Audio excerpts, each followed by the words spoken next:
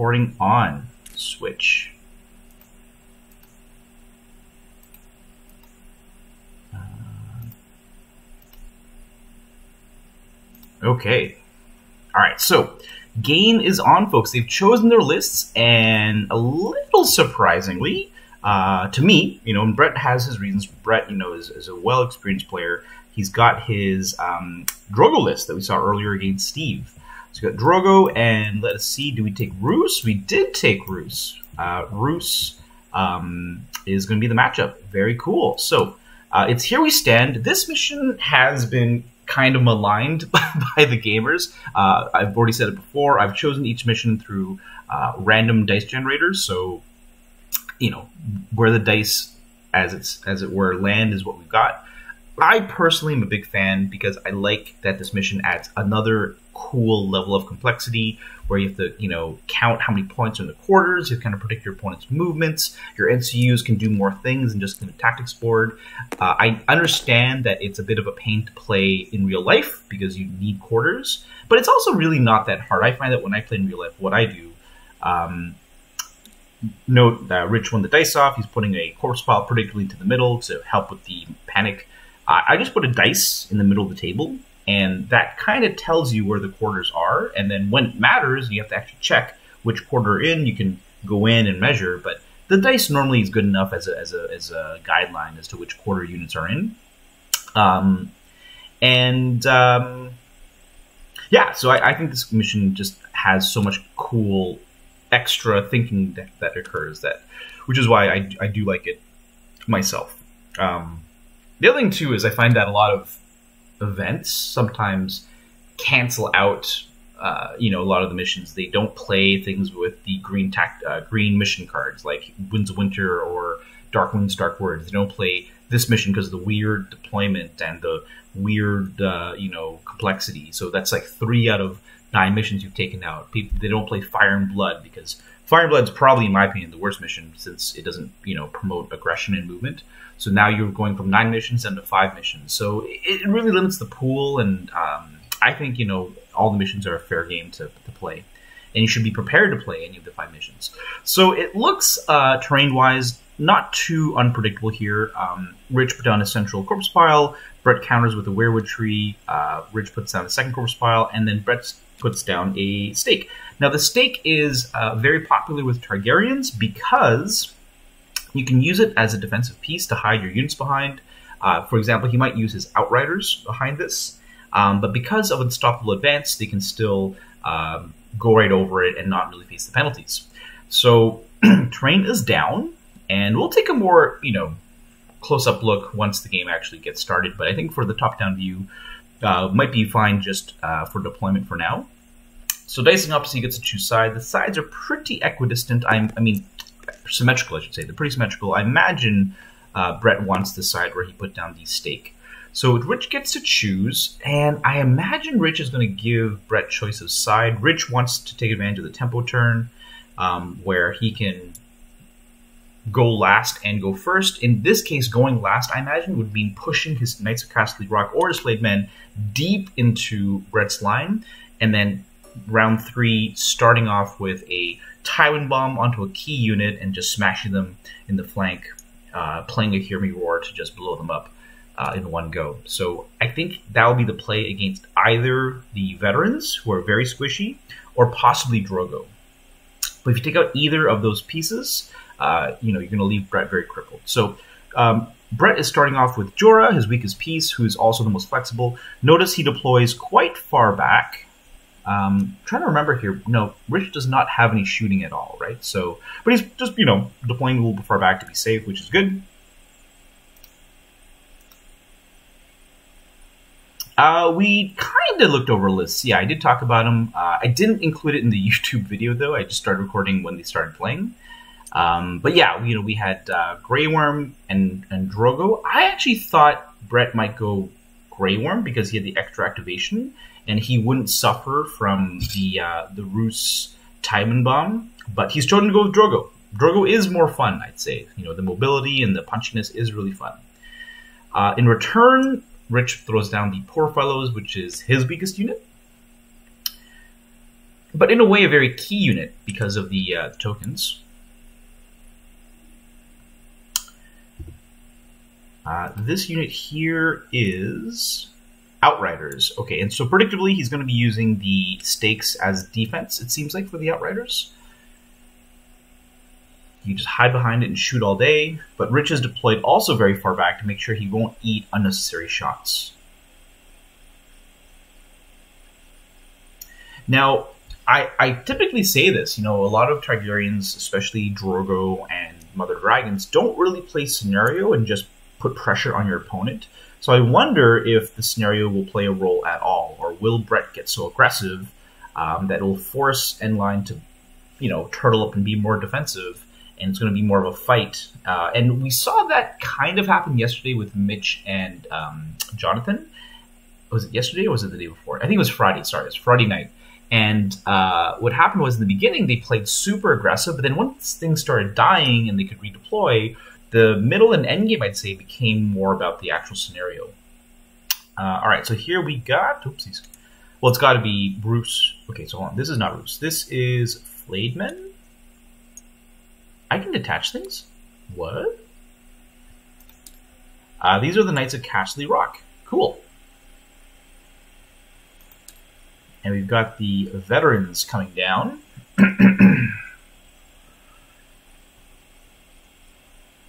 Interesting that he puts veterans now uh, instead of his screamers. Again, I always feel like you should deploy your your your biggest teeth last. And veterans can be very deadly on the outside. You know, just swooping in to do their combo. By putting them into the middle, it does restrict your options a little bit. We see Roose go down, and it seems like Rich is saying, "My flayed men are my most important piece."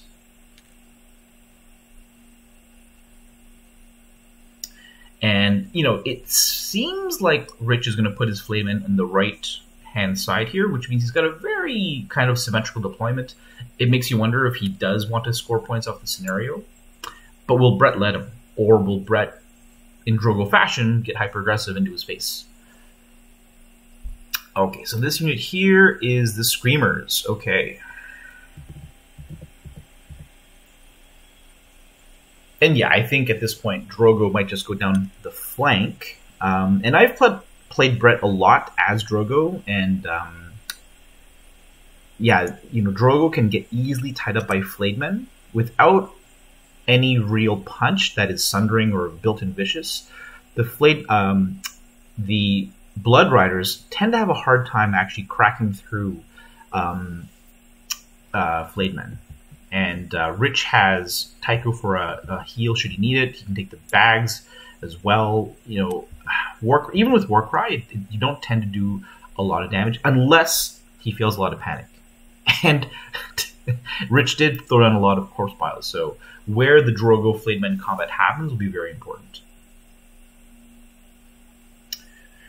Okay, so I predict, you know, with the base in the gap, and it doesn't make sense to put Flayedmen here uh, yep, pretty pretty predictable deployment here, and then we'll see what the Blood Riders go. Do they go central to have options, or ooh, he is going central? Very interesting.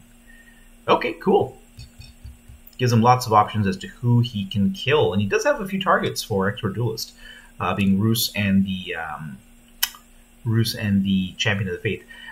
The Roose kill is important because it does take three points off for table quarter scoring. and we'll see if one of the knight units can be used to to intercept. Now, I do like this positioning on Brett's part. Now that I think about it, because if the flayed men tie up Blood Riders, it gives Screamers an option to come into the flank and support. So, I've had cases where Blood Riders have fought flayed men one on one and just been tied up, but with Screamer support, they can break through. So I imagine what Rich is going to try and do is set up a devastating Tywin bomb charge of Knights of Castle Rock onto the Dothraki Outriders.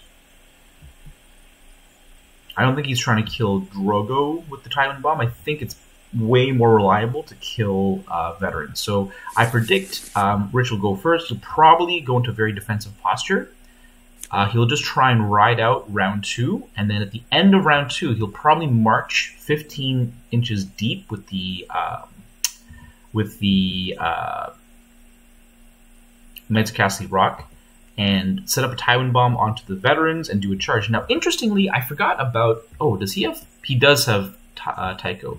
So interestingly, Tycho can undo the damage of um, Tywin as long as Brett remembers to um, trigger it at the same time um, as um, he thinks when Rich will trigger it. And to be fair, I guess Rich has to trigger Tywin first, and then he can react by saying, okay, well, I'm going to also use Tycho once Tywin has resolved. So cards have been dealt, and it looks like Rich is going first. Okay, so we have three NCUs.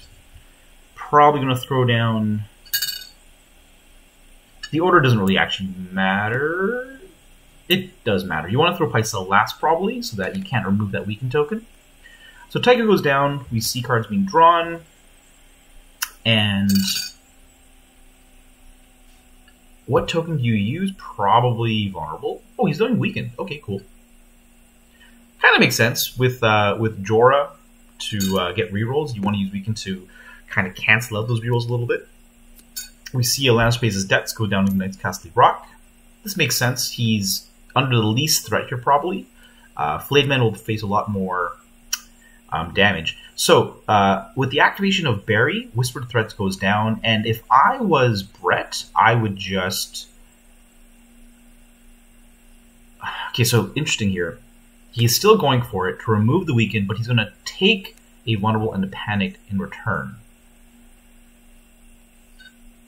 And he's throwing Barry onto Jorah. So I wonder why Jorah? I mean, it does mean you can't Tywin him round one, I suppose. That would also kind of suck for Brett. If Tywin was used just to kill Jorah, it would put him an activation down right away and a point down. The nice thing, though, is that in this scenario, and this is the, the hard thing to wrap your head around, is that units come back. So yes, you can get a free once per game kill with Tywin, but Jorah actually comes back to, to haunt you as Orc. Okay, so where will um, Rich put down his double token? I think I think Brett made the right play. You you really cannot stop the rain of tokens going down. Was this? Hold on here. Did he forget? It looks like Rich forgot to put down the tokens. And he's going to weaken the outrider or the veterans again. Yeah, it looks like Rich forgot to put down a token.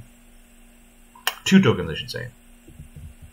That's a pretty big mistake. These are very key tokens as well for pushing through damage. Okay, we're doing a Crown Zap, probably onto Jorah, who passes without a problem. Everything else is morale 5, and Jorah's morale 4, but if he fails, you can actually kill him. So it'd be horrible to get a free kill. Now, interestingly, I guess he couldn't put the token on. Barry would have blocked it, I suppose. I was going to say maybe he could have put a panic on Jorah, but I guess Barry could have stopped that from happening. All right, so um, because of assault orders, you know, Brett may not throw down Tycho right away. So it's it's kind of like the old uh, sudden charge from the Starks. You know, when your opponent does not throw down an NCU, it makes you wonder why. so there are some cool mind games going on right now. Um, so we saw two cards going to sell Whispered Threats, and we saw Lance Steps. Right. Okay. Cool. So Jorah has kind of committed himself.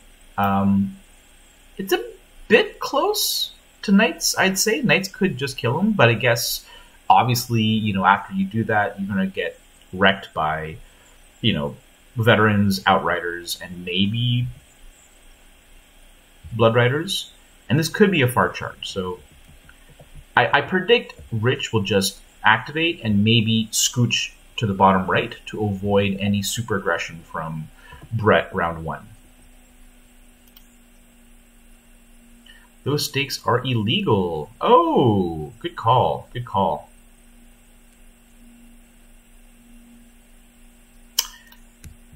Uh, terrain's gotta be six. Yes, these stakes are legal. These are Brett stakes. Yes.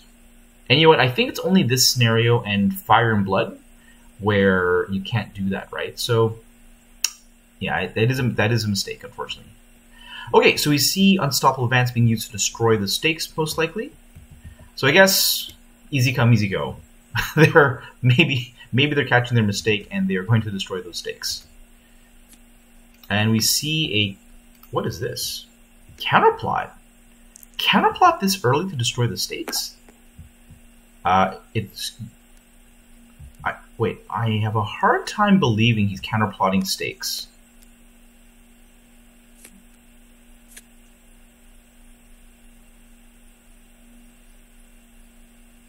Did he counterplot Unstoppable Advance?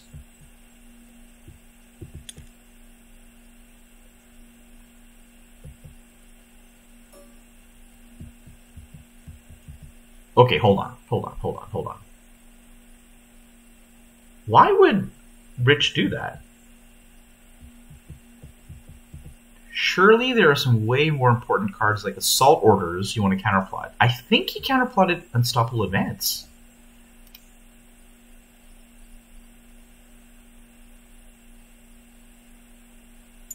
Now, I mean, it kind it doesn't even really keep this unit behind the stakes, right? I mean, it looks like it is, but I'm pretty sure Brett. I mean, okay, so maybe this is some big five-headed play here.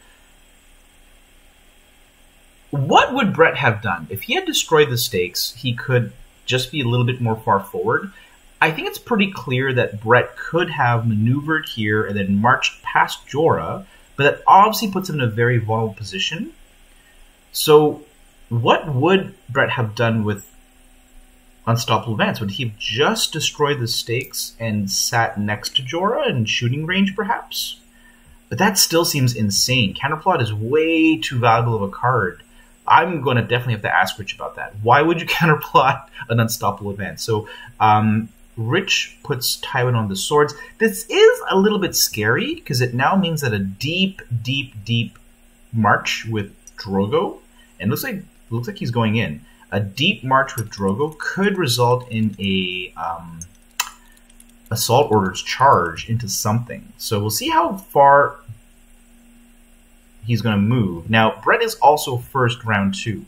Is Brett going to go balls deep into the lines of the Lannisters here.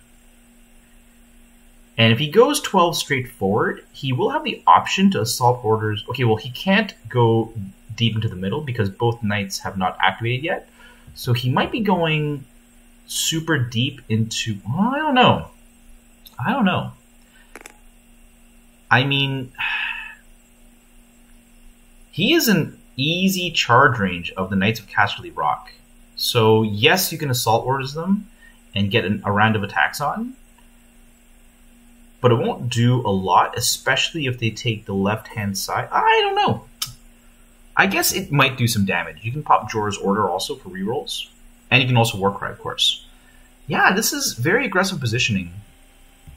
I feel like Rich is obligated to charge in with the Knights now. But Brett knows this, right? So this really, really implies this is assault orders.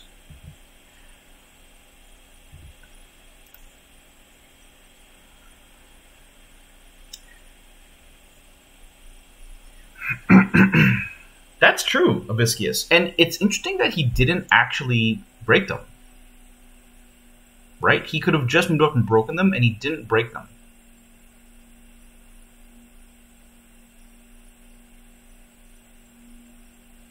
It would have been 2d3 plus 2. Um. True. It does keep him back. Yeah, it's interesting that he didn't break it with his actual action. Okay, so we see a okay two dice being thrown. This is oh this is Rich's own war cry, and yeah, I, I think he forgot his whispered threats from earlier. But you can already see without whispered threats, he still has three tokens down. So a Flayedman has no secrets is going to um, have no problem having a token to be used. So yeah, I feel like I feel like Rich is obligated at this point to charge Drogo. Now it's interesting that they're checking Jorah. It could be that Rich is considering charging Jorah just to kill that activation We know it's yeah, it's in into Drogo. He probably cannot get into the flank. So this is not terrible for Brett, I'd say, unless he takes crippling damage here. um, because his assault orders can get rerolls and precision, and he is first next for more free attacks from the sword. So I am curious how Rich plays this out. He has a charge now, or else he will lose the Champion of the Faith, which is a big source of you know the tokens. Oh wow, is he backing up? So this is very patient. Wow, he's backing up. He's accepting the assault order's charge, which shouldn't kill this unit. But if Rich, sorry, if Brett goes first round two, he very well could kill this unit. Very patient on on Rich. I don't know how I feel about it. It might play out in his favor. Um, so Jorah's also probably outside of twelve. Uh, Jorah's also probably outside of 12 of the poor fellows. So yeah, I guess Rich is just accepting their death. If there is a assault orders, of course. Like, why would you not just counterplot the assault orders? Why would you counterplot unstoppable advance? Okay, if there's a second unstoppable advance going down, this is really great for Brett to be able to pull out both of these more or less crappy cards out of his uh, early hand Okay, so wow, these veterans are going to blow it up instead, and he's really focusing a lot of his power now onto the left-hand side. Uh, this is going to be kind of messy to break through this. No, I guess not. 12 is here. He should be fine. Very interesting.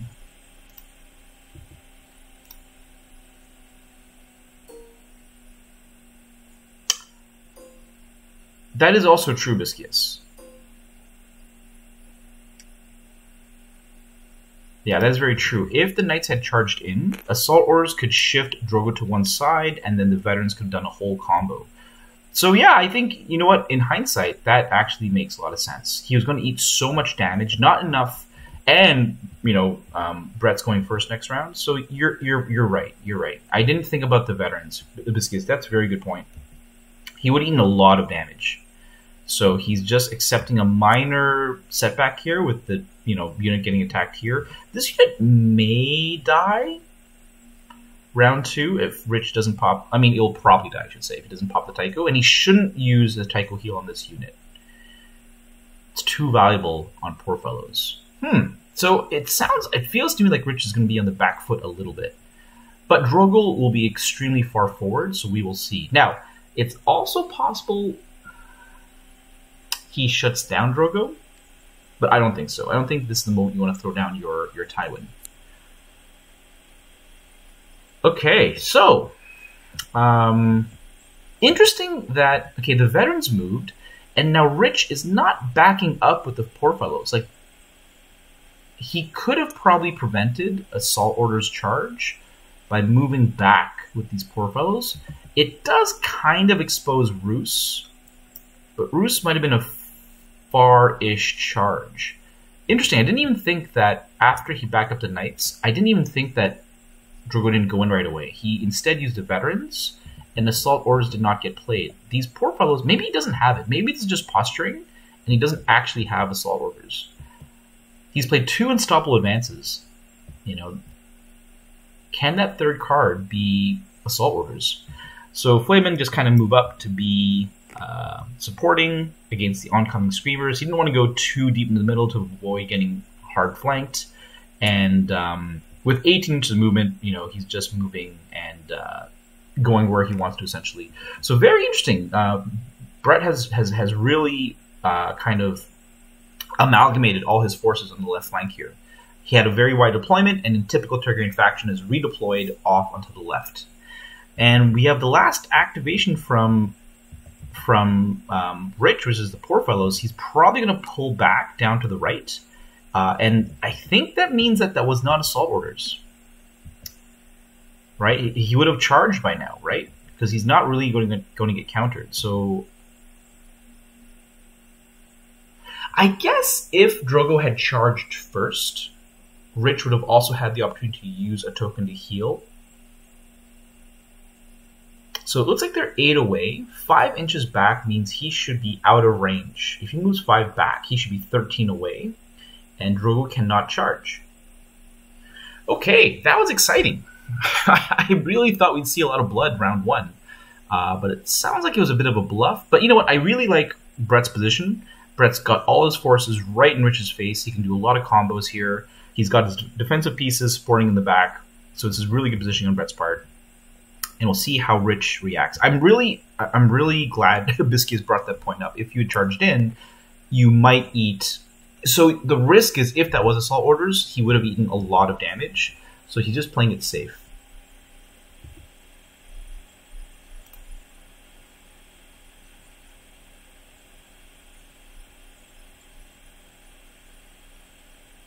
Yes, definitely a turtle strategy happening here, Mikkel. Yes.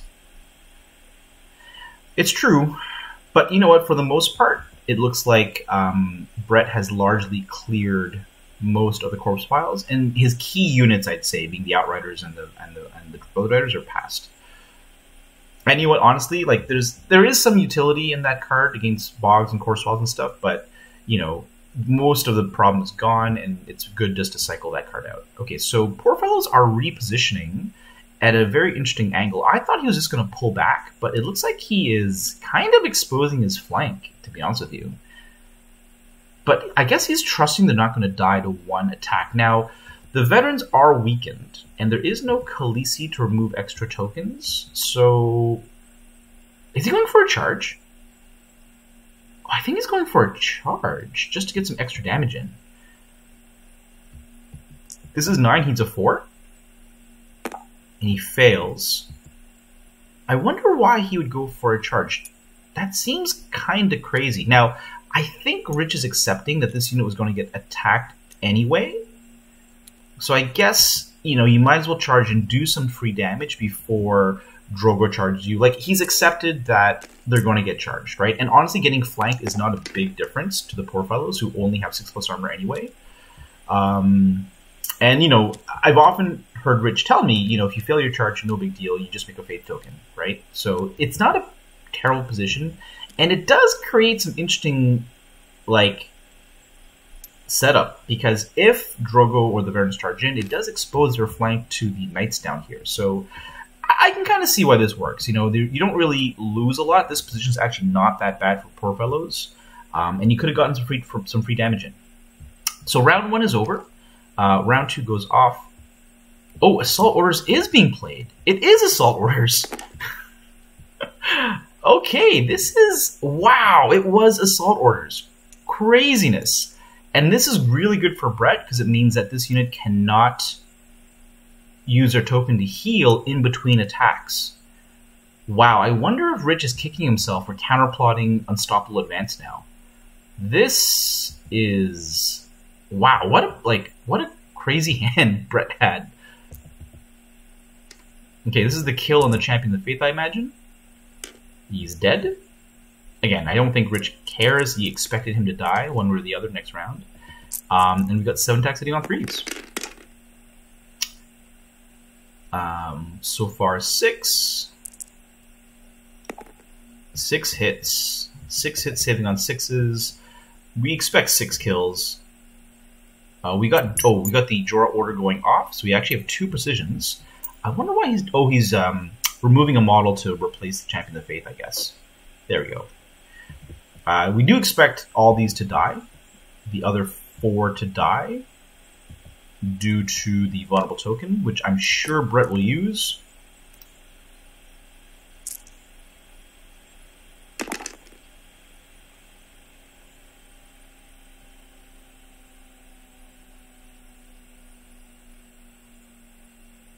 Yeah, yeah, losing that to losing the champion is quite significant. So um, it looks like he did not use the vulnerable because he wants to use the vulnerable on the free swords and still have Warcry to throw down on something else. So they pass their panic, I believe. Their leadership 4 panic token being used into a pass. Okay. Okay, so they are likely to die from swords, and that is a big deal because Rich will be an activation down. He'll be an activation down at the start. I don't know if you pop Tycho here just to save an activation. But you know what? I wonder. I wonder if you do pop Tycho because this unit, Drogo's Blood Riders, is very exposed. Right? you like I mentioned earlier before the stream started, Rich can pop Tycho. Sorry, not pop Tycho. He can pop Tywin, use the hits and the panic tokens. Uh, use the hits and the panic test with these existing tokens, and then reapply them with Rains of Castamere into a flank charge from the Knights. Now, the problem is eight attacks, or I should, I should say eight hits if you roll perfect, brings Drogo down to four wounds if he fails all his saves. And that's a kind of a big if. I mean, yes, it's fives with a vulnerable token, but he might pass one or two. I don't think you one shot. Oh, but then there's the hits. Yeah, the other problem too is the hits on this unit is not that good because it's a three plus with the vulnerable token. You expect maybe two wounds, maybe two wounds. Oh, the Tycho did get popped, so Rich does feel it's important to hold the line here with, with the poor fellows. And um, we're going to see Barry go down. So Barry, oh, was that an intrigue? Was that an intrigue? It was an intrigue, huge. So no Barry block this round. No Barry block means no way. Oh, okay. I was to say that well, no Barry block. Okay, into. But Tywin was not popped, I don't think. Tywin was not popped. Do you need to pop Tywin now? I guess not, right? There's no reason to pop Tywin because they weren't going to heal off the attack anyway. Pretty good roll from Brett. All hits, seven hits into one save, loses six. They cannot die, which is the important part. Is he rerolling the six? This is the six from before. Yep, he's rolling the six, so he loses seven. Now they could die with a crit fail panic. They could die with a crit fail panic, and I wonder. He's got two cards in hand. I wonder if he's got a Hear Me Roar or something to try and push through the damage into Drogo. Uh, they do fail panic, but only lose one wound. That was a big deal. Big, big deal. Big, big deal. Okay. Is it Tywin bomb time, people? Is it Tywin bomb time? Is it Tywin bomb time?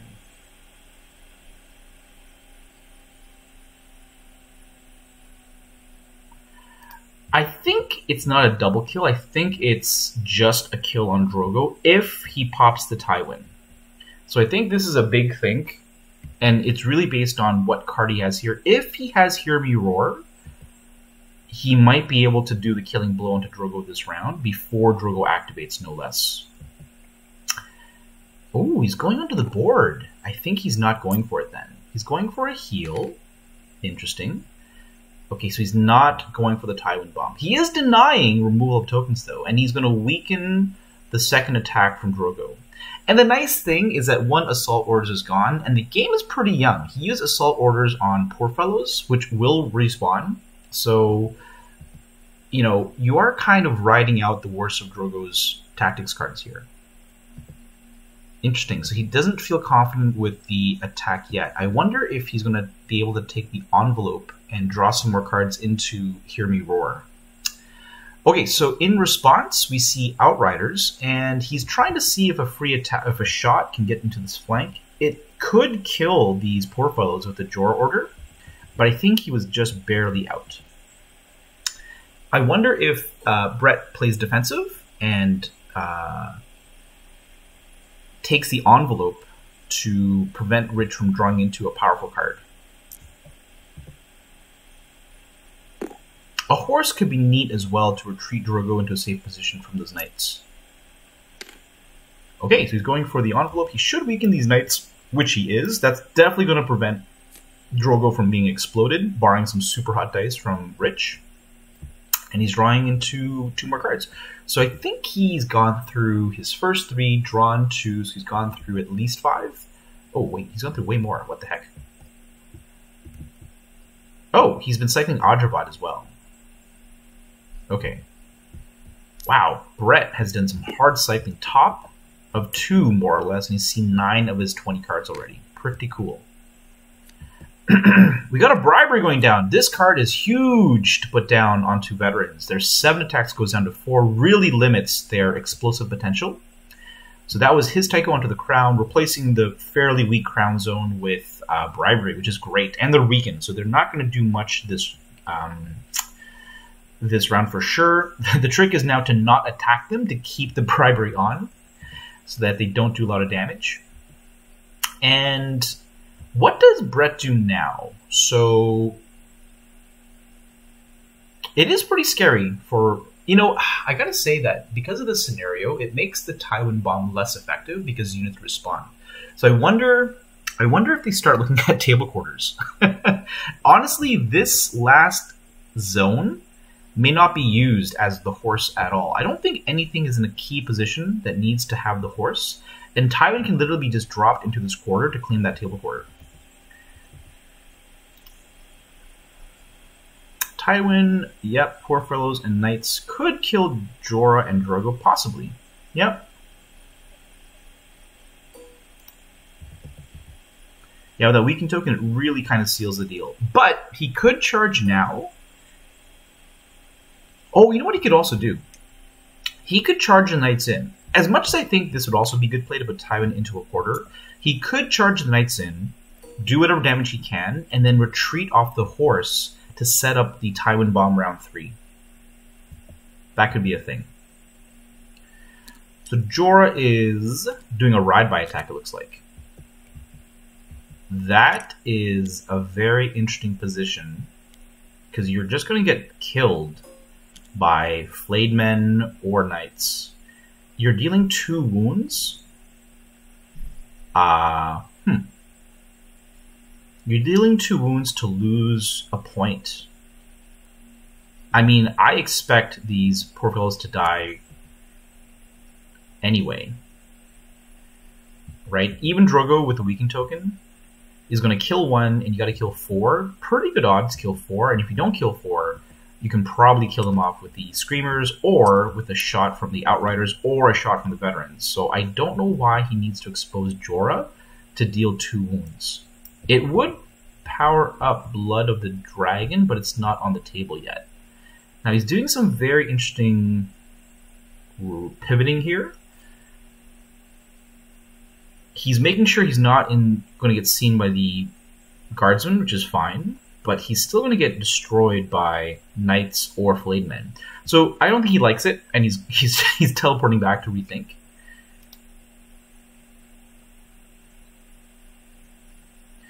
Take horse, let Roose. Yeah, that's also true. Yeah, he could have just taken the horse and charged uh, with Roose. I don't know if Roose would actually kill him. Despite being Roose, the attacks from the guardsmen are not that spectacular. Looks like he's charging Blood Riders. Maybe. Oh, I see from the front here. I gotcha, gotcha, gotcha, gotcha. Hey, how's it going, Van Van? You're right. That could have been used to stop an attack from the uh, Flayed Men. That's a good point. That's a good point. Okay, so Screamers are backing up, I think, into a flank charge. Yes, that's pretty safe positioning. It's going to also free up Drogo, which is pretty key, and it'll also avoid the uh, corpse pile hindering, which is really key as well. So I think he's maneuvering into their flank, into a charge.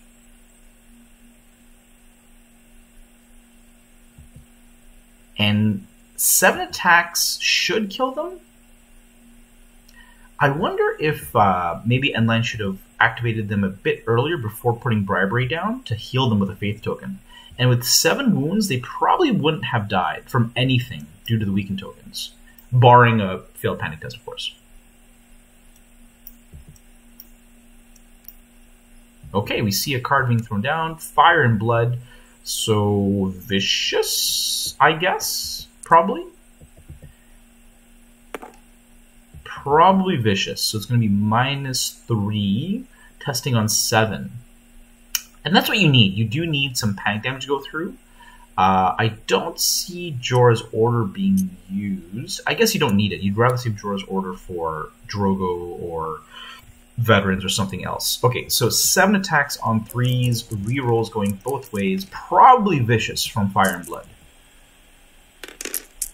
Uh, decent roll to start, pretty good roll to start. Okay, so oh no, only five hits. There's five guys with the weaken token. He needs all of these to hit. Oh, brutal. Only one hit. One hit means even a crit panic fail will not kill this unit. Oh my gosh, these are some hero hero. Actually, it's not so much these guys are the heroes. It's these guys were incompetent. These screamers were incompetent. Okay, so panic at minus. Even with the minus two, it's a pass. Even with the minus three, I should say, it's a pass. Flank and um, presumably vicious from the from the. Uh, that is huge. They just ate a flank charge and took a single wound. That is huge.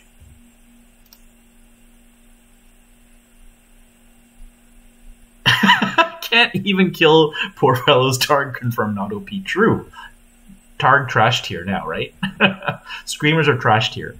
That was pretty big. So you know what? I think I think you activate poor fellows now, pop a token, heal the six, and you're really unlikely to. Oh my god! I forgot they're down to four, right? He actually got a maximum heal out of that. The maximum heal is not big though. I think. Yeah, you only heal three. Okay, that is hilarious. So now there's seven guys. Uh, I wonder who he fights. I wonder who he fights. Um, you probably go for Drogo. You pop a token, you attack Drogo, swing for the fences with uh, with uh, with precision, and with all these tokens, if Brett has not Brett, if Rich has a Flayed Men has no secrets, he can totally cancel a uh, Tycho. Oh man. Okay, four attacks hitting on fives. He's keeping the same facing, which is interesting. It doesn't matter a lot on poor fellows because of their great morale. He already has a precision and two hits. He's not getting greedy. Oh my god, three hits. Okay. He should not use the vulnerable. he should save it for the knight charge. Oh my gosh, poor fellows. These guys are the hero hobos of Westeros. And he's taken two two uh, free wounds from poor fellows. Panic at even. Sorry, panic at plus one because of Iron Resolve is fine. That is hilarious. Oh, he went for the screamers. Oh, you know what? That actually makes a lot of sense. I was going for Drogo because of just the hilarity of it, but in fact, it's bad to go on Drogo because Drogo would just heal that damage back up. And now you've done four wounds to screamers. Wow. Okay. Yeah, that makes a lot of sense. Drogo would just heal, right? So there's no point. Unless you Tywin Bomb. But I guess you're saving the Tywin Bomb for round three. Okay, so I think these veterans have to be used now to block Drogo's flank. Otherwise, a charge into a retreat into a round three charge is going to kill Drogo, but Drogo will come back should he die because of the scenario. Hobo Power.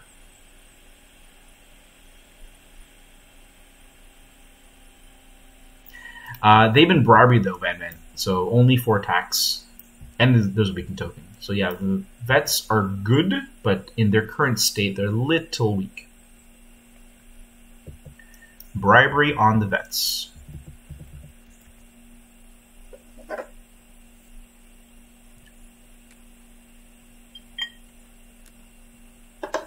Hmm. Is that Adrobat? Mm-hmm.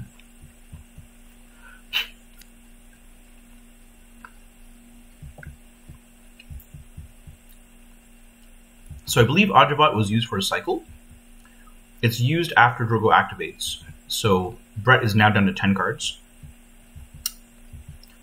Half his deck through by the uh, top of three. What will the vets do? It looks like the vets are abandoning Drogo. They're doing a ride by attack.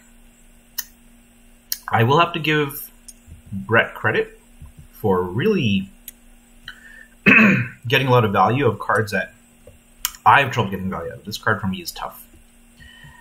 But this position puts them in danger range of Flayed Men. Now, they do have Swift Retreat, so Flayed Men can charge, do a bunch of damage, and they can get away. But I feel like this is kind of unnecessary exposure to deal two measly wounds. I guess what he's trying to do is whittle this unit down to make sure that Drogo can break free. Drogo might have an overrun, right? In fact, after that, you know, very aggressive card churn, he probably has an overrun by now. So killing this unit is probably a huge deal. Which is why the knights okay, once in fact, once these veterans get out of the way, I think the knights are kind of free to charge Drogo in the flank. And that will prevent overrun from being a thing. If you charge in the flank, you might expose yourself to some shots, but with a 3 plus save, you should be okay.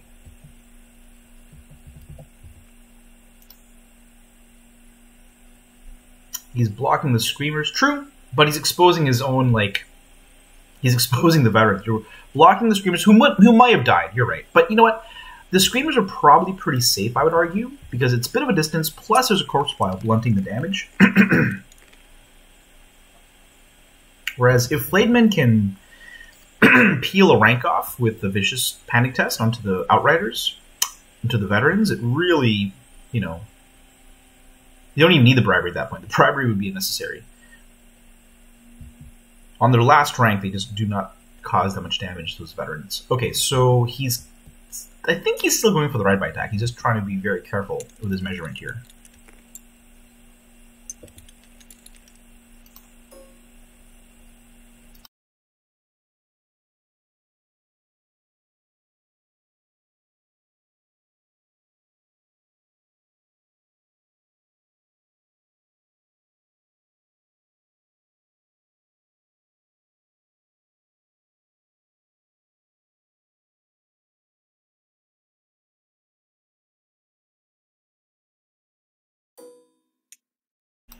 That is true. The vets will not die to uh, um, but it will be a negative three panic test, so they are unlikely to pass that panic.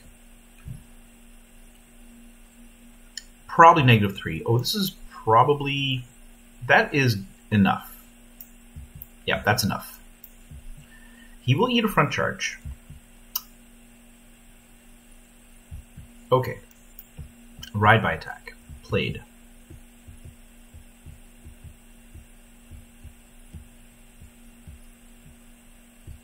Yeah, okay. So now I think the Knights go in. If you're worried about Drogo overrunning into Roose, let's say, this is the time to charge the Knights and Rich. And yeah, it's scary because once once Drogo's activated, you can retreat the Knights and go in with the Tywin Bomb. Uh, that's the bribery. And Rich is still have one card in hand. This might be the card he originally kept.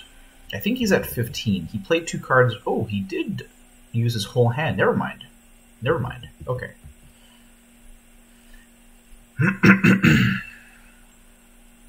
All right, so based on Rich's blue hand motion, I think the Knights are going in. So it's auto win into the flank.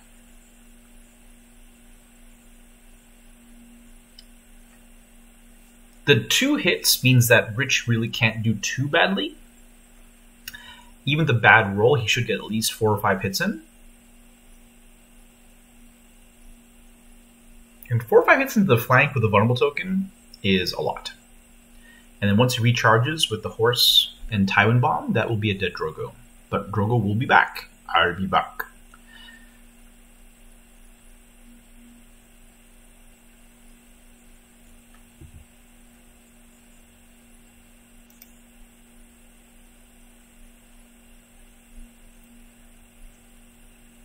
This looks fairly good for Brett. I don't know.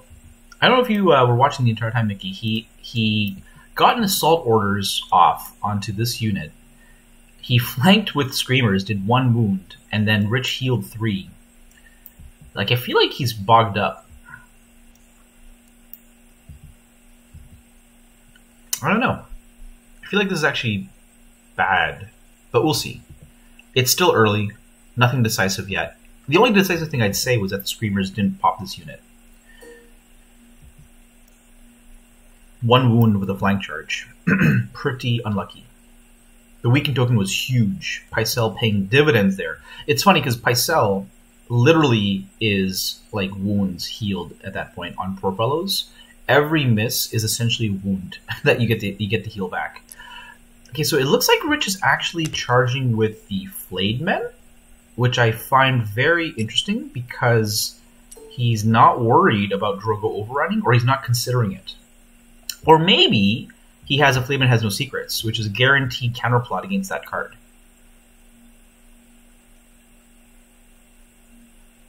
But still, I feel like even if you can, Flayed Men has no secrets. The overrun, you want to keep him in your flank so that the knights can do a devastating charge.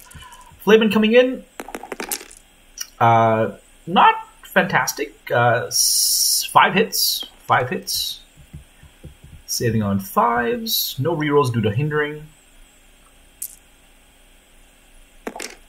Decent roll, one down, and now the big question is, will they pass their panic? Uh, minus three due to vicious, and they fail. They barely fail. So the panic stays on. They take additional two wounds due to intimidating presence. Oh, was that a mistake? Didn't he fail three and then take two? Was there Hear Me Roar that got played? Oh, it was Hear Me Roar. That was Hear Me Roar, I believe. He played a card and it's gone? Yeah, it was Hear Me Roar. Okay. So he cannot stop an overrun. I feel like that was a mistake from Rich. He cannot play overrun. Okay. So now Drogo's going in. Drogo's going in. It's all about the weaken token. Okay, so five hits. He needs to kill. Rerolls due to Jorah equals seven hits. I'm assuming this is Jorah's order. And then the weaken token is going to kill them all. With a vulnerable token, those guys should be dead, and we should see an overrun into Roose. Now, funnily enough, if you overrun into Roose, you do expose your rear. And maybe that's why Rich didn't care. He's like, sure, charge my commander. Kill my commander. Give up your rear with a vulnerable and a panic token. Okay, so we see the poor fellows get killed, and do we see an overrun? Probably won't use the...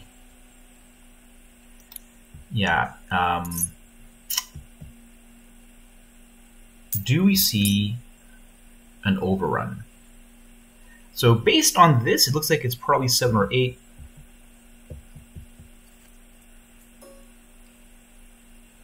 Looks like it's more than 8. definitely feels like an overrun. So Drogo, oh, options. This is into the Flayed Men. Uh, this is nine, so it's a three plus. Uh, that would be really strong. That'd be really strong. If I was Brett, I would probably gamble on the three plus charge into the Flayed Men because it will take you away from the knights, who I really feel should have charged. I wonder why Rich didn't pull the trigger there. Was he thinking? Okay, here's what Rich may have been thinking. He may have been thinking that if you charge the knights in, you do a bunch of damage, but Drogo will probably bring all those wounds back when he kills the poor fellows. Maybe that's what Rich is thinking. Now, I'm assuming as well that Jorah popped his order, and I would. That's a fair bet because there's nothing else that's really going to benefit from the order. oh, no overrun. No overrun. He didn't, and you know what? That is fair. Overrun would have been bad to the flank. You kill Roose probably, but then you expose your rear but you're still exposing your flank with your current pivot. I think you're still exposing your flank with the current pivot. And interestingly, he's actually going to eat a charge from Roose now, which would put Intimidating Presence into contact with Drogo. I wonder if he didn't get Overrun in his first 10 cards. And I wonder, again, is Overrun even the right call? I don't know if it is it does put Drogo in a very bad position where he can still get rear charged, retreat with the horse into another rear charge with the Tywin. Very interesting. Okay, so it looks like he's happy with Drogo's positioning. I'm pretty sure the Knights get a flank, and I'm pretty sure Roose gets a front.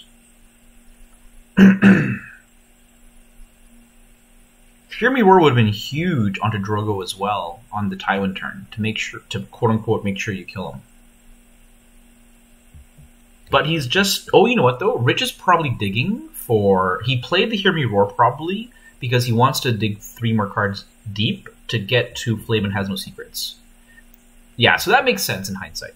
You know, it, you want to make sure you use it to keep the bribery on, and you want to um, cycle through to get a Flayed Men Has No Secrets. Flayed Men Has No Secrets is really big to stop the Tycho heal. And once you get nine cards deep, oh, he's popping it now. Very smart on Brett, I'd say. Brett is using the Tycho heal now, even though you could argue it's not necessarily optimal. It's still good. Healing up eight wound veterans is still very good, and you know you're going to get it before he draws a Flayed Men Has No Secrets. So this is smart play on Brett. You want to save it for Drogo, of course, but you may not get it next turn once Brett cycles through three more cards. so Brett's at one. Okay, now it's actually time to start counting table quarters. So Flayed Men are in this quarter. Roose is in this quarter. Um, it looks like it's going to be 2 2. Actually, Jorah and the Screamers can both redeploy to the right. So it might be 3 1 for Brett when it comes to quarters. Okay, so I think at this point you charge in Roose and then you charge in the Knights. You charge in Roose for the Intimidating Presence for one the Knights charge in. Oh, the question is do you charge in Roose because you're throwing him into Drogo? I think the answer is yes because we're planning on the whole flank into a retreat into a charge. Round three. Um, you probably save space just in case you don't want the flank. As crazy as, as it may sound, if you flank, Jorah or the Scream or the Outriders might tie up your knights. You actually may want to go for the front to make sure that they can't tie you up and prevent a retreat. Though, could they really prevent a retreat? If you retreat, you can still retreat this way. Yeah, maybe not. Maybe you do go on the flank no matter what. Okay, so six attacks from these piddly guardsmen. Probably not going to use any tokens here. Save the tokens for the big knight charge coming up. No, so rolling for the charge first is a 1, no big deal, kind of irrelevant.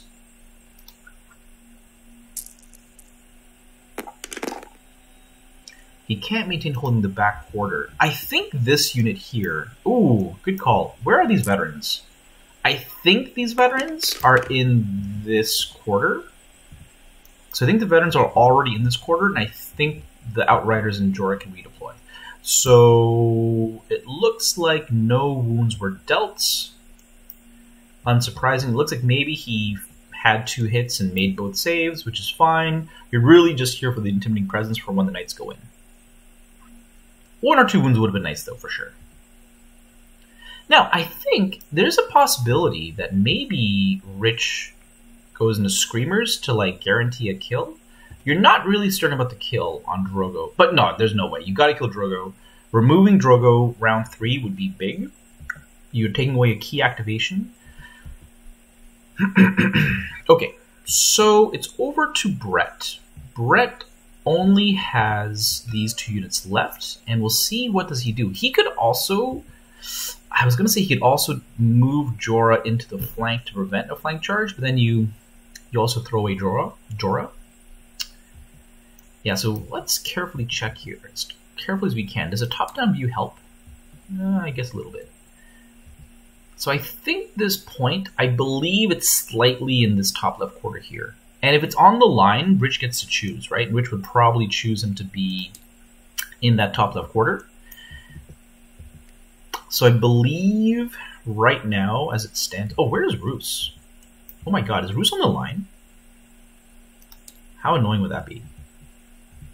Roose...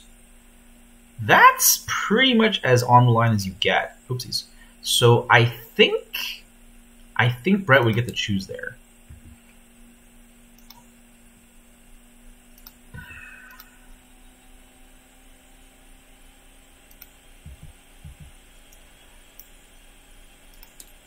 Sorry, folks. I know I'm jumping around a lot. So, okay. Hmm. This unit is worth 11. This unit is worth not 11. It's worth uh, 8. So Brett would want... Mm, okay, I don't think there's a way to do it, right? If it's in this quarter, they each get a point. If it's in this quarter, only Rich gets a point. So I think I think if Brett has the choice, he would want Roose to be in this quarter here, so they each get a point. Okay, Outriders coming forward, and yeah, they're just going to protect. They're just going to protect Drogo's flank, exposing themselves. But I think that's the play because if Knights charge into the Outriders, you don't even really care. Drogo's still free to run around and shank Roose. I think. Oh, I wonder if I wonder if Brett is positioning to prevent a front charge too. I think I don't think he was able to, but I don't know if he measured carefully. He could have been able to prevent a front charge and a flank charge with the right positioning. If he had gone over a little bit, if he could have, and maybe he couldn't, so I shouldn't be critical, but if he had the movement, he could have blocked both, which would be horrible for Rich. Even now, it's close. He might be blocking both, but probably not.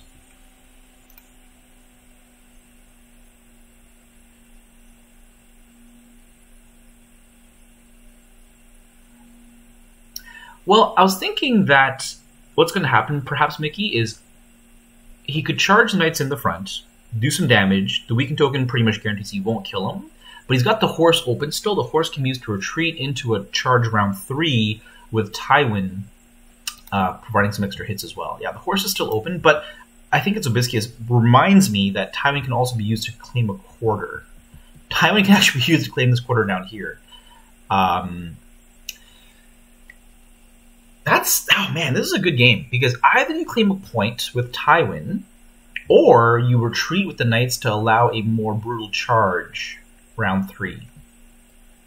Okay, so at this point, the knights should go in, and then and then Rich can decide what to do Tywin after. Oh, you don't need to do this now, I don't think.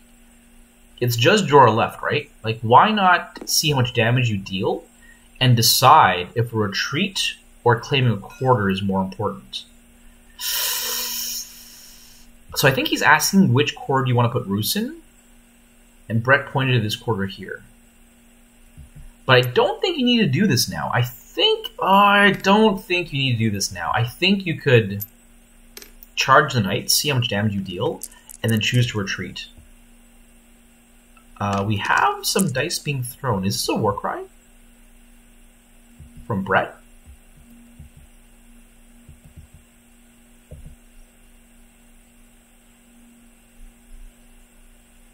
Oh, he's is he popping Tywin?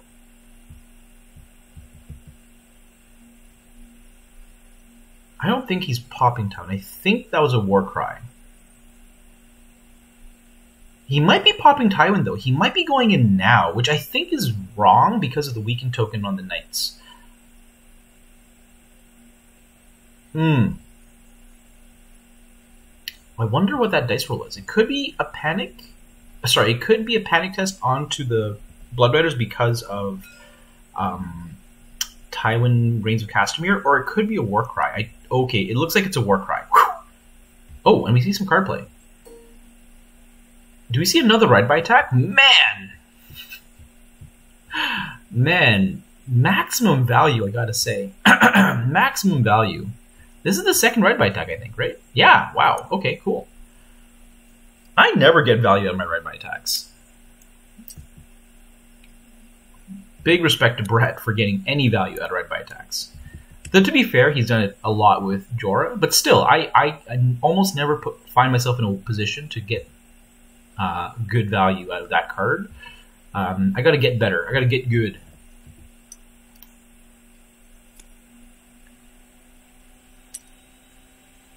I just like the grittiness and the zonal thing of this game. Yeah,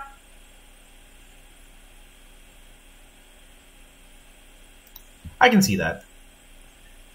Depends how picky your players are. I would say I'm a pretty picky player, Van Van, and um, when I play this mode, I, I just put a dice in the center, and I find that that dice, for me, is good enough to tell me which quarter a unit is in, and if it matters that much, then we measure. But usually it doesn't matter, it's usually pretty clear. So I've heard. I think I think Mickey and Carl was saying that if you play this scenario, you have to do it like round one at a tournament where you can like tape off the quarters right away. And I'm like, yeah, you know, I feel like that's a bit much. I think I think a dice in the middle is good enough nine out of ten times. So just going for a clip onto the corner. I think 12 should be more than enough to get past. It's tight. It's actually a little bit tight. It's a little bit tight. I think with a pivot, though, he should be able to clear that. Yeah, that's good. And he'll deal two wounds. And wow, Brett has played a lot of cards. He's cycled and played a lot of cards. I don't think he's discarded much, and he's gone through half his deck, which is pretty great. So the 12 goes to here. I think, okay, now this is actually as good as it gets for Brett. If he cannot pivot clear from here, he can't use the card right? This is as good of a clip I think you can get pretty much on TTS. So I think if he can't pivot clear here, he can't use the card in this case. I think, oh, it's going to be super, oh no, uh, he's not going to be able to clear. Yeah, he's within an inch. Barely, like 0.9, but he's too close. Okay. That's that's what I think. I, I don't know if Rich is going to give it to him or not. I don't think he should. it's a pretty close game, and I think you should probably be tight and say you're not out of range.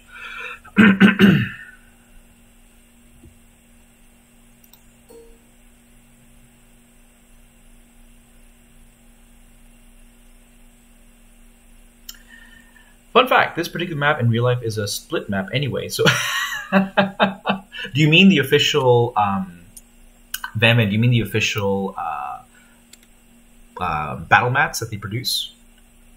I think I've seen one. I think it is like two mats, right? Yeah, yeah, the official. That's true. yeah, they they knew in advance that that would come in handy. Yep. I just saw actually posted uh, on a couple of Facebook groups this um, mat producer, which produces a battle mat just for song, and it's got like a built-in tactics board and a built-in like card discard and like turn tracker and victory point scorer. It was really cool. If I lived in Europe, I would for sure get a couple. Um, I wonder what the shipping's like to, to Canada, but uh, it's a pretty sweet mat.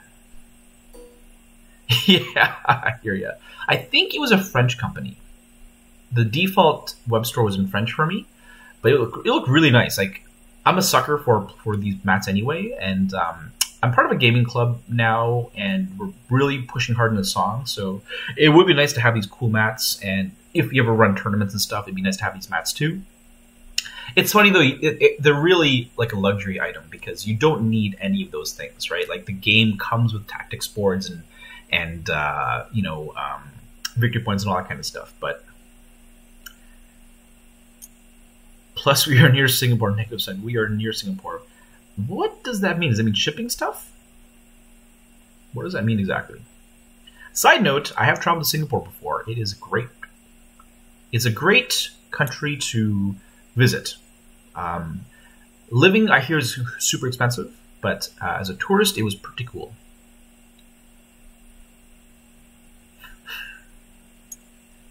Oh, you're in Indonesia, right? Sorry. Oh, gotcha, gotcha, gotcha. Yeah. So looks like Brett is still playing around with Jorah. Looks like the ride by attack is no good, so he's considering what to do. It looks like he's just going to tuck him into the middle. I don't know if they're counting quarters. I mean, he should be. You know, when when Rich dropped down Tywin, it's a clear sign that one player is thinking about the mission, at least. Um, now, would Jorah's position have mattered? I guess not, right? There's nothing in this quarter, so it won't matter. I think the vets are in this quarter, so that's at least 1 1. Rich has this, so it looks like it's going to be 2 2 for quarters. It looks like it's going to be 2 2. So 2-2 would bring the score to 3-2. Okay. Okay, he's tucked Jorah away. Knights are charging in, probably to the front.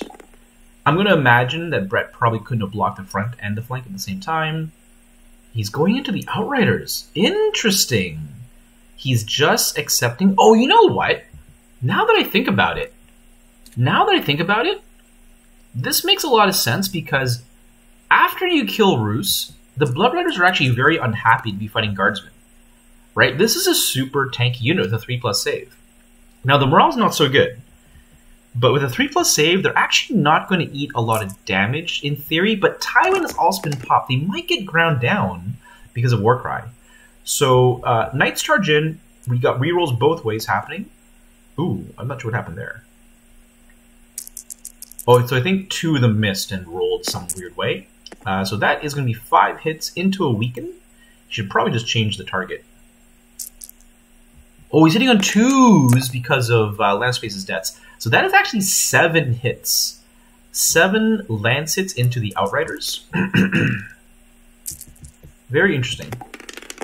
Uh, equals six saves, so the Trey is half dead. They're probably going to pass Panic with a plus one. Yep. And uh, yeah, so I think what Rich is going to do here, he's accepted that Roose is going to die, but he hopes this unit with a 3 plus save is going to just hopefully tie up the Blood Riders for a long time. Rich has learned that if you cannot deal a decisive blow to Blood Riders, just don't fight them. And without that horse into a retreat, into a recharge, you really can't kill the Blood Riders. So I think Rich is going to focus on the outer units and just leave Drogo to kill Roose. So the score is 3 2. Uh, yeah. Um, Brett has gone through 12 cards, which is awesome for the top of three. And Rich has done a full cycle as well. He's gone through three cards each round, which is pretty great. And the poor fellows come back. The poor fellows are back for some more war crying action, baby. Um, Tycho has also been popped by Brett for anyone who's a bit late to the show, uh, which was smart playing Brett because he did it on a turn when Rich did not have a hand, so he knew that he could not get stopped by a Fleetman has no secrets. And he's putting himself in the top of the corner where currently there's nothing. And now this unit, I believe, will be a nightmare. This unit will not be easily killed by anything here. Um, and it's just going to be throwing out tokens, charging into flanks. We'll see what happens. We'll see what happens. Yep, good call, Gamma. Good call. Uh, Poor Fellows in the top left. And Rich is first. I don't see a Tywin pop yet. Is there a reason to pop Tywin? Um, you know what you could do with Tywin? You could turn off the flayed men or the veterans and prevent swift retreat you could turn off the swift retreat off the veterans, which would be pretty significant. you can deal the hits to the outriders. Oh, you know what? I wonder if you just. Oh, Jorah took a wound. That's kind of weird. Maybe you kill Jorah, take the swords with the knights. He doesn't have Illyrio, you get a heal, but then a second knight attack should probably kill them, especially with the Warcry. Rich could kill two units this turn. He could probably kill Jorah and these Outriders this turn. And turn off the Outrider or the veterans to prevent swift retreat and any kind of explosive damage that they might do. Okay, I think we're seeing a Warcry go down first, which is a pass. And no zones have been taken yet. I think if I was Rich, I'd go for the double kill here. And as I mentioned, between Mitch and Jonathan's game, Airship Engineer's game, um, killing two units is really key in this scenario so that your opponent can't resurrect uh, one. He's got to pick one of the two. So Warcry goes down. I think Rich pops Tywin, takes the sword. He removed the panic token I wonder why. Is he reconsidering where, where Warcry is going to go down? He can only choose two units. You want to throw it on the Outriders to try and kill them, I imagine. No card play. This is a very, very critical opening set of moves, I would say. I think now is the time you pop Tywin. Kill the activations before they activate. Okay, we got a panic test. I believe this is a Tywin. This is a pass into a reroll He's fine with the damage. He's I think he's going on to the Outriders here. Good first roll from Brett into a pass. That should be the panic. Cool. He's now going to deal the hits. Oh, you know what though? he should throw the vulnerable token onto Jorah. So he's reapplying panic with Tywin. So yeah, Rains of Castamere is definitely going down. He should apply vulnerable to Jorah, deal the hits to Jorah, and that is very good odds to kill him. Yeah, so he's going for the double kill. Going for the double kill. And that's a good roll. This actually gives Jorah a chance to live. He's he's got like a 50-50 chance now to live. 50-50 chance, dead. Oh, okay. This is going to be a very decisive turn for Tempo. Okay, so now he probably throws whoever. He should turn off the veterans. Looks like that's what's happened. Oh, he's turning off Drogo?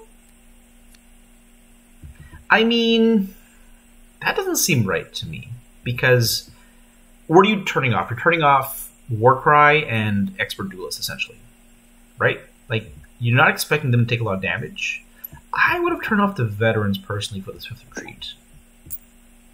Okay, onto the swords. Pycelle is going down with a weaken token. You know what? Maybe I don't know. Weaken makes sense here to just make sure these guardsmen do their job of holding the line for as long as possible. And I guess,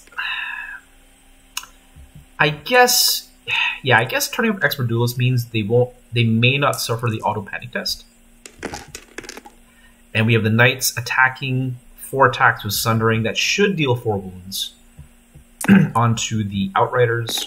Sixes, four fails. They're down to two wounds. I wonder if he's got a second Hear Me Roar to try and push through. He's got Vicious as well. No Vicious. Um, hold on. That was a pretty low roll. Rich right might use. Oh, are they dead? Is it because of Vicious? Does he have the crown? Wait, hold on. Didn't they pass? Isn't five a pass? Vicious is only with. Oh no, it's vicious all the time. I'm dumb. It's vicious all the time. So they did die. Huge. So the free attack, he's already killed two units and really limited um, Brett's options here. Wow. Okay. So now it's seven activations versus five. Big turn. So I think Rich is just playing super safe. He's turning off the expert duelist to just try to have these guys live as long as possible. One less wound, plus with a weaken token, they may not take too much damage. Okay, what does Brett do? And you know what? To be honest, now that I think about it a little bit more, if Brett drew into his second assault orders, he could maybe pop through this unit with two attacks with failed panic test and stuff. So this is actually very good defensive play, I think, in hindsight.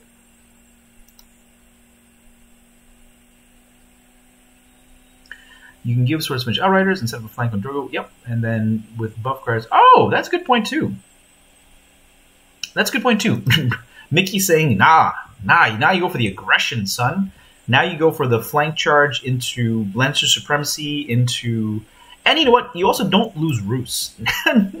the more I think about it, the more this makes sense. You will not lose Roose this round either, which will help you control this quarter. Though honestly, with how many points Rich has on the table, he probably shouldn't have too much trouble controlling quarters compared to Brett.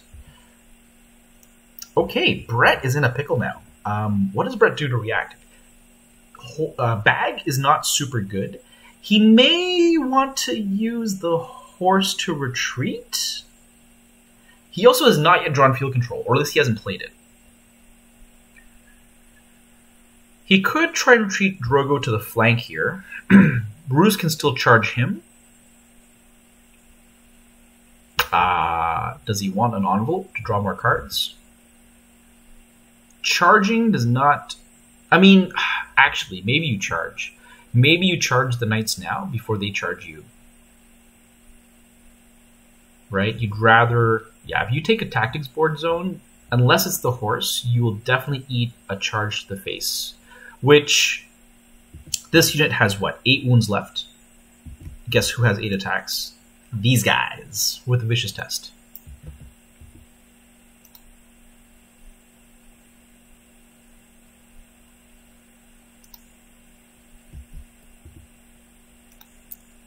Okay, uh, it looks like he is going to the board. I'm a little bit surprised. Maybe he takes the bag. Okay, yes. He's taking the bag to prevent the, the, the one shot on these uh, screamers, I imagine. And he's using. So in this matchup, I believe Barry is more of a defensive piece to prevent things like Hear Me Roars from going off. Oh, he's removing the bribery. Interesting. Oh, and Whispered Threat was played. So Whispered Threat was played to reapply some tokens. Interesting. Um, yeah, the really bad thing I think for Brett is because he's so heavily out activated, the Flayed Men can wait until the end. Though Brett can also use Tycho onto the horse to retreat and try to set up the combo. However, the combo is gone because Jorah's dead. So you only have regular, non precision, non rerolling attacks to work with here.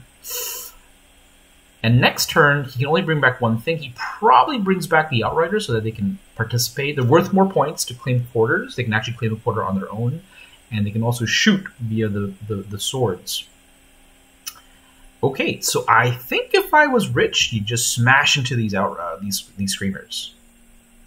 I think you just smash into the screamers. I think you ignore Drogo at the end of the day. I think you ignore Drogo. You let him bang futilely on um, on, on the guardsman and you just cripple all his other teeth.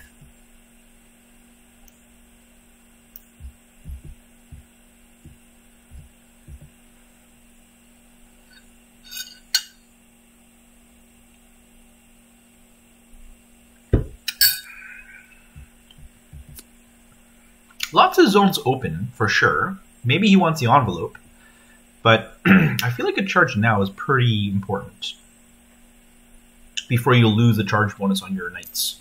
Now the knights are pretty scary. I shouldn't say that. I was gonna say they have plus one to hit, but they don't until they have the crown. Oh, okay, so Rich did go for more cards. He is throwing a token down on I would probably throw on the veterans. Just make them weaken. You don't worry too much about the screamers. The veterans are the only real high impact unit. Oh, he's putting a panic. Ooh, that is scary. So the vicious with the panic token and a charge could be death. How does Brett react? Does he run away with the screamers? Does he take the horse? He doesn't take the crown, that's for sure. And that means that Rich will get the crown. Which, you know, while the weakest zone does power up all his cards, including a Lancer Base's debts. Oh, uh, that is Warcry, but he shouldn't be able to Warcry because of Tywin. I'm pretty sure that was a Warcry, but that should not be a Warcry. Oh, okay, so he's just running away with the Screamers, being safe. I wonder if these. Oh boy. I wonder if these knights can get into the veteran. Oh, he's charging. Yeah, and with their movement, they can easily charge. Not a big deal. Okay. Ooh, interesting. Pretty good roll. Pretty good roll. okay, seven hits on threes, and I think they'll do a couple of wounds here. At least three or four wounds, probably. And I really like, I really like screamers. You know, they're just missiles, very efficient missiles. Oh, already, already four say fails. Pretty brutal. Reroll. Already four fails. Reroll to the vulnerable. Okay, he's taking the wounds off now. He might save it for the veterans. No, he's making roll now. Okay, all pass. So it, it kind of normalized out to average, I, I guess. Uh, panic at E. Oh no, minus one. Minus one because of the corpse piles. No trees nearby there.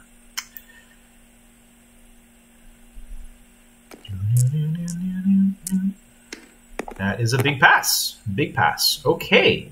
I wonder if these knights can get into the rear. And you know what?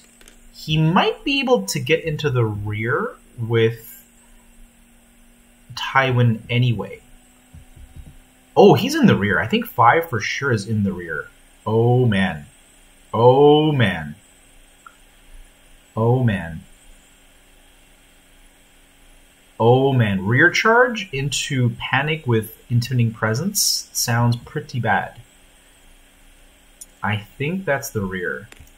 I mean, Rich will guarantee it. Rich will angle all he needs to to get on that line. But I think that's I think that's rear.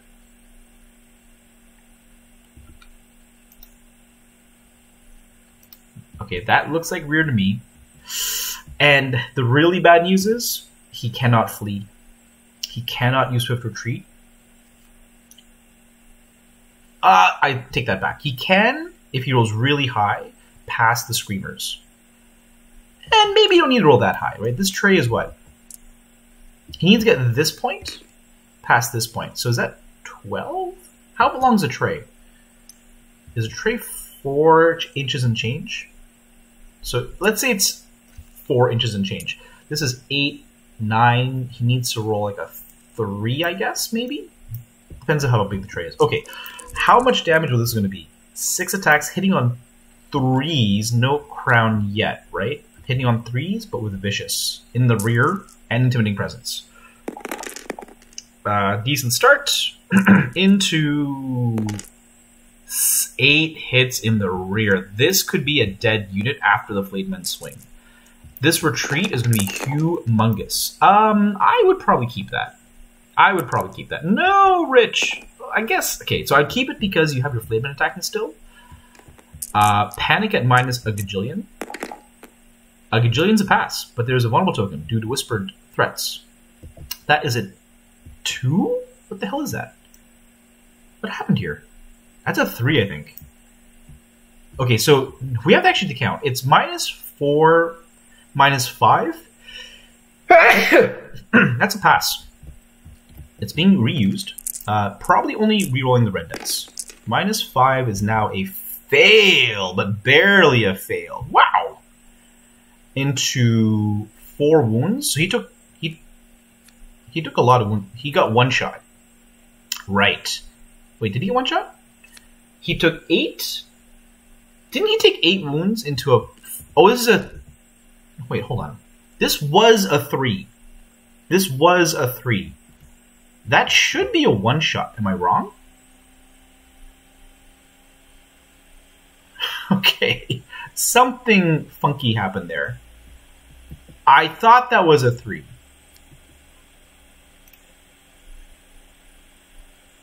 It was weird. It was clouded, but I thought it was a three. And then when they reset the dice, I thought I saw a three. I think they should be dead. Now he's going for the uh, retreat. it's the only way he keeps him alive. Otherwise, Flayed Men will totally finish you. Oh, that's not enough. That is bad news, Bears. That's going to seal the fate of these veterans. And that's probably going to be game. He's going to be only bring back one unit he's gonna be heavily out activated, and Rich can just tidy up with uh, with capturing cores at this point. Wow. Uh, yep, we got five hits into the last wound. Can Brett roll like a god? And not like Buddha. Yep, those are dead vets. It's a point. Table quarter wise, um, Rich has two. So either Rich has. Actually, hold on here. If this unit, which is. Yeah, if this unit is here, it's going to be 3 0, or it's 3 1. So it's probably going to be 3 1. And that'll be probably too high of a lead for Brett Ketchup. Wow. Huge turn. Tywin Bomb did some serious damage, essentially killing two units into a rear charge one shot more or less, and now it's just too little to come back up with. Okay, we see another cycle. wow. What does Brett have left? Brett has Drogo and Tycho left. Veterans didn't even activate. He lost an activation. I think this is Drogo five hits with the weaken token becomes three hits. Rich should lose a guy or two here, but he's going to eat Supremacy in return as well. he's going to eat Supremacy. So he made all his saves. Uh, vulnerable token is going to get popped. This would be solved if he makes all his saves again. And he takes a wound. A wound. Uh-oh. Drogo is extremely unhappy. Now, regardless of how the panic and the uh, supremacy work. Panic is good. Also, good rolls for Rich. Both are middle numbers, so he's probably going to make him reroll both. Um, Panic at even is a fail. Big damage. That's significant. It does reduce the damage returning back with Supremacy. Supremacy will only be minus three now because of uh, Intimidating Presence. So minus three, and I think he's barely in range. So it should be just minus three. Minus three is a pass. There's a panic token. I would make him reroll. Maybe you got a fealty in your hand to heal back those wounds. uh, rerolling everything. Brett also rolled good. Rolled into the middle. Minus three is a fail because of intimidating presence. Uh, because of no iron resolve, I should say. No iron resolve means that this is actually a fail. And does he have fealty? To rub salt. All the salts. Okay, so now I think to really tie up Drogo, you throw Tywin onto the horse to prevent Drogo from retreating. But interestingly, they can just talk about what quarter Roose is in, and Tywin can claim the fourth quarter and make it nine. That would just seal the game, I think. Tywin can just claim a quarter and just make it nine. Um,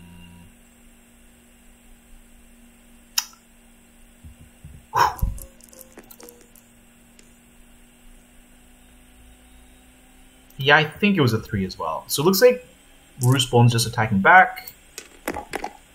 Uh, weaken token, I think, was that a weaken token? So we just we got two hits onto a three plus save. it really doesn't matter a lot, I suppose. It might have mattered. these Flayed Men may have killed these screamers actually if if those veterans had just exploded. Um, and Drogo's okay. so Drogo's okay. Because I think that would have been a one shot, right? All eight wounds got through, and a crit fail panic is four more with intimidating presence. Uh, something is happening here. Barry blocking. Oh, I think they are Barry blocking the um, supremacy. I think they're Barry blocking supremacy. Yeah. Okay, so it's now Brett's turn. Brett will. Oh, he's taking the crown. He's not retreating with Drogo. He should retreat with Drogo, I'd say. And this means that Tywin will for sure claim a quarter. Is that assault orders? It is. Okay. Um, yeah, you gotta do some wounds here. You don't get the auto wound. So this is actually making Rich's play with Tywin make a lot. Oh, unfortunate. Only two hits. Brutal. This is making Rich's Tywin play make a lot more sense to keep this unit alive and healthy by reducing the damage from Expert Duelist. He does feel one that will be a panic, but they will not be killed. Panic on seven.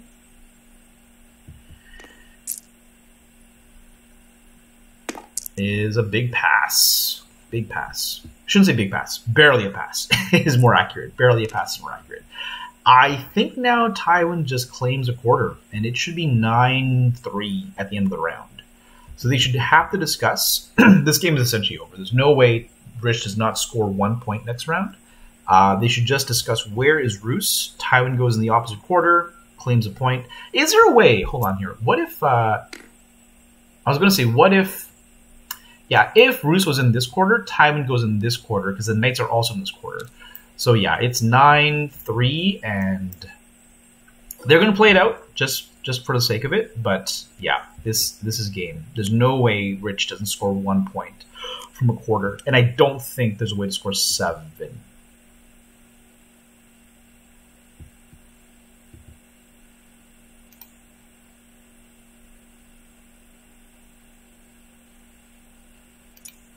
All right, I'm gonna get my iPad ready for the post game interview. This game, this round should be very very quick. There's not a lot of activations that are super poignant. I wonder if Rich goes in hard to get a lot of kills off Brett.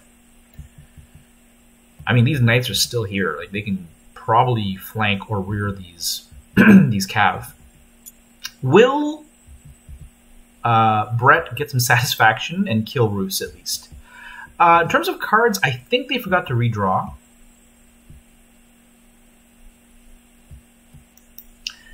being the end of the game, I don't think there's any cards that save Brett at this point, being so far behind. and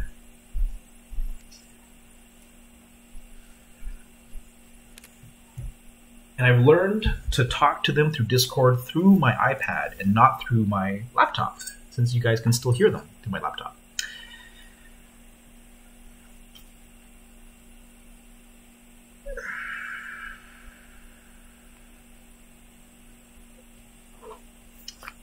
What is the first activation looking like?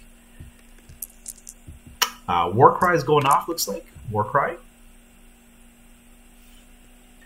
On to Roose, just to, I imagine, try and kill the unit off.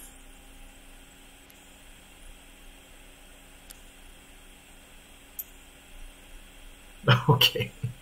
Uh, yeah. And we're going predictably Barristan onto the sword, trying to finish the unit. With these tokens and Expert Duelist, he might just kill the unit. One dice to shank the Leech Lord. Leech Lord down.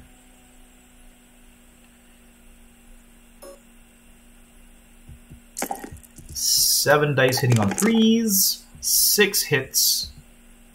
Yeah, with the with the panic token, you should kill. I mean, you expect to kill maybe three or four guys here, and the panic field could kill them. Only lost one. Good starting roll. This is this is the nightmare of Blood Riders. Is a unit with a three plus save. Oh, four down. So yeah, the the vulnerable doing work. The vulnerable doing work. And now with the panic token, on seven, they should probably get killed, and that'd be pretty big. It does free up uh, Drogo to do some more damage. Oh, crit fail, and they are dead. So uh, he's up to four. What I think. Ugh. Okay, so this is interesting actually. It gives Brett some life. Probably not enough to get back in the game because he only needs to lose by one point. But it's interesting because what you do now is Rich? You could charge Drogo, but Drogo can flee off the horse. However, I don't think Drogo has an ability to one shot anything. Right? With Warcry being spent, even with Adravat, I don't think you're able to one shot the Knights because of um, Warcry being spent. And I think actually, if you're rich and you take the Knights into the front, you force Brett onto the horse, which means he doesn't get any token play, and it gives you the heal as well critically. So the charge is going in for the knights just to tie up Drogo. He knows he knows that's the oh whoa okay. He's just saying I'm just gonna kill you. Tell you what, I'm just gonna kill these guys. Rob you an activation. Flayed Men can eat an attack. um, there are eight wounds left. With a failed panic, they are probably dead. Um, good start for Rich into into eight hits. Eight hits on sixes. They could just be dead here, but the panic at minus five should be enough to finish them. Oh my god, that's eight fails. Brutal. And they're just dead. They're just dead. So that is ten. That is ten. And now it's all about quarters. Um, yeah. That is ten.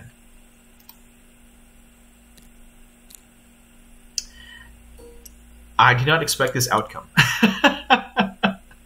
um, you know what? Uh, Rich and and Brett have actually played a lot one on one before, and I think, and when I say they played a lot one on one, I mean they played a lot recently one on one with this matchup, and I think Rich has won every game. Um, so it would be interesting to hear what they feel happened. Uh, he's actually putting him in a quarter. It looks like to score a point. Interesting.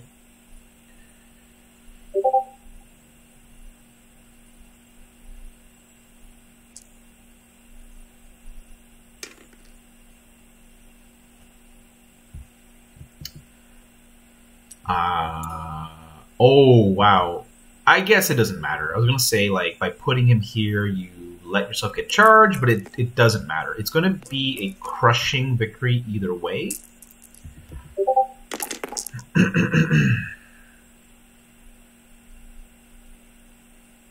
uh, these are flayed men into the flank. No rerolls because of the corpse pile. Four hits only, saving on fours. Yeah, I'm excited to hear what they have to say. Oh, I think they're just calling it. Are they just calling it? Yeah, they don't. They can't kill Drogo, and they're just calling it. Okay, I will pop into my iPad Discord, and we'll see if they are ready to chat. BRB.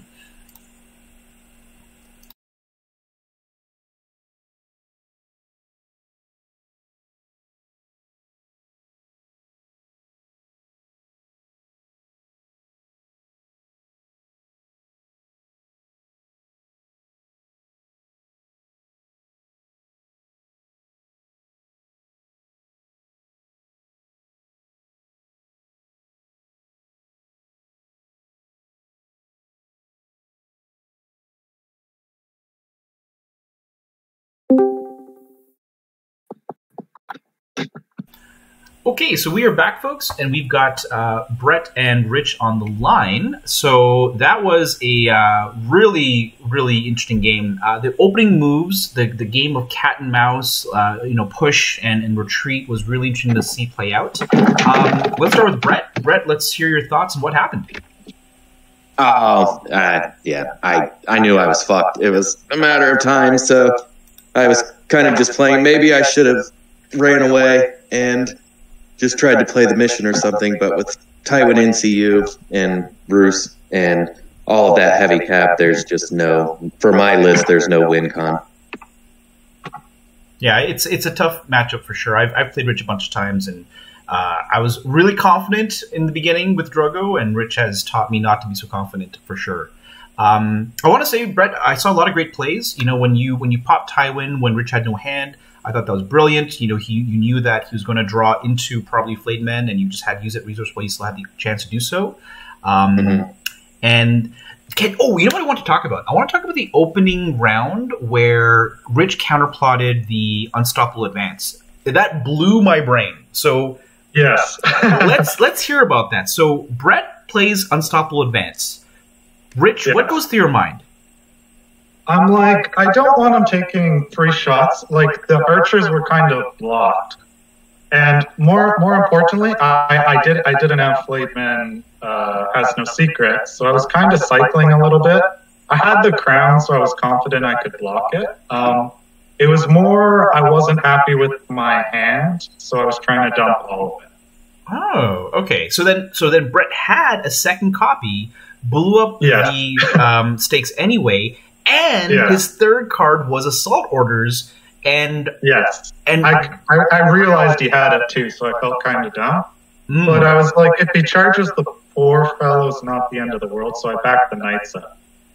So yeah, I was thinking to myself, and Abiscius made a great point. I thought you were going to charge knights into Drogo, but the the risk was if he had assault orders, he could shift over, he would get an attack, the veterans mm-hmm. could come in with Jorah, and you would just explode. So you retreated, which made a lot of sense. But then you had an option as well to back away the poor fellows, but you didn't, and it seemed like, mm-hmm. in fact, you charged into the flank of the screamers, but failed to charge. Yeah, like with with poor fellows, you don't really care about failing the charge sometimes if it like gets in the way because you're not going to fail the panic. You're going to generate yourself a token.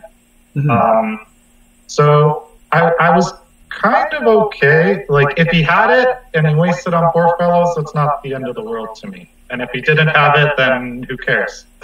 right. Okay. Gotcha. Mm-hmm. But I was pretty sure he had it. Um, yeah, and I, I, honestly really thought about Tywinning first turn and trying to kill something, but the more I thought about it, like I go first on the second turn.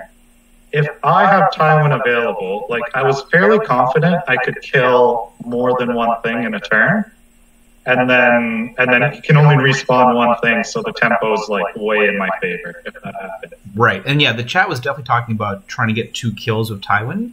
Um, I thought you might have done a so your knights were weakened, right? That was yeah. and and I thought what might have happened was you might have charged your knights in and then retreated with them on the horse for mm-hmm. a fresh charge when you had the Tywin bomb ready, but you were you were really yeah. patient.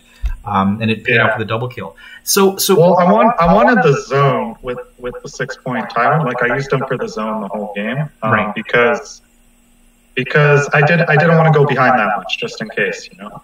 Mm-hmm. I wanted to be within a point. So, because, so Brett, um, you know, you mentioned that this is, you know, with the Tywin NCU, it's a, it's a kind of a bad matchup. Did you feel like your Grey Worm list was a worse matchup? Yeah, because Tywin makes the ten point unit of pikemen one shotable too. Mm. So it's it's better. Uh, it was good defensive stats. Yeah. yeah, it was it was better to try to beat the head on the the Drogo wall than yeah. With Grey Worm, I've only got the pikemen really for offense. And again, I, I there was no doubt Richard was running this list, and he's got two two units of heavy cav, and all I've really got is the pikemen. Um, the freedmen explode really easily; they don't really do much for me there. right. That Grey Worm list is more for holding objectives, but again, all he's really got to do is like send in the knights or something, and then send the Flayed Men in and pop Tywin, and they should kill. They should kill the pikemen. Um, even with even with some luck, they can just one shot them anyway Yeah. with just Flayed Men. you know, you know, Brett. When I was getting ready for LVO, uh, I was expecting to play into Night's Watch. I was expecting to play into Targaryens, and after playing Rich over and over and over again, I'm like, oh my god, I have to really worry about Lannisters because Rich was just kicking my ass, and it it made me start playing Mod as a result. My second list um, switched over to Mod. Do you feel like how would you if you expect to play a guy like Rich at, at an event? How would you adjust your list building? Uh, I've avoided taking MOD because I think she's cheesy, but yeah, that's Yeah. it's. I think Drogo can handle just about everything, but um, Lannisters. I know that last week's results show otherwise, but I think that I would beat that MOD list nine out of ten times, and so I think Targaryens handle enemy MOD with Drogo, and MOD handles Lannisters, and then I feel fairly confident that my Drogo list can take anything else. This is going to be the fifth time that this list has lost for me, and four of them are against lists, either this list or something similar with Tywin NCU. Yeah, I think I've been able to beat- a couple times. Yeah, I've beaten everybody but the Lannister with Tywin NCU. Yeah, Double heavy cav. Yeah, it, it, it was causing me so much stress, and, and Rich knows he's been beating me up hard with uh, this list as well. Yeah, yeah, and so I would sw- I would switch to MOD. I didn't do it in this event because. I still think MOD is kind of cheesy, but in hindsight, I should have done it. Um, right, right. I was thinking to design a list specifically to counter Lannisters. I ended up taking that Grey Worm list and switching the Flayed Men in for a dragon. Which, if the Grey Worm, if the Grey Worm list had a dragon, I probably would have ran it here. But, um, yeah, I switched it at the last minute, and then I, I, it was like a brain fart because I forgot that I put the dragon in there specifically to deal with Lannisters. Right. But- Yeah. Cool. Well, you know, that was a great game to watch, um, and it was exciting. We had a lot of viewers. Uh, so thank you very much, gentlemen. Good luck on your last round. Yep. Thanks, All right. Aaron.